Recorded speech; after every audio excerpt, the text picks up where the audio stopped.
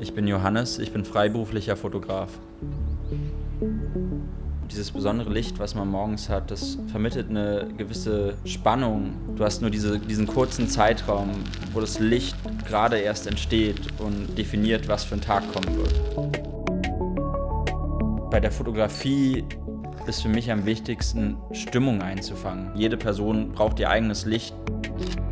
Wenn ich Menschen fotografiere, versuche ich ein Stück von ihrem Charakter mit ins Bild zu bringen. Ich glaube, als Fotograf geht man auch zu Hause viel bewusster an das Licht, mit dem man sich umgibt, ran. Design macht mein Leben nicht nur durch seine Funktion leichter, sondern es macht mein Leben allein schon durch seine Anwesenheit schöner, weil ein schöner Raum meinen Tag besser macht.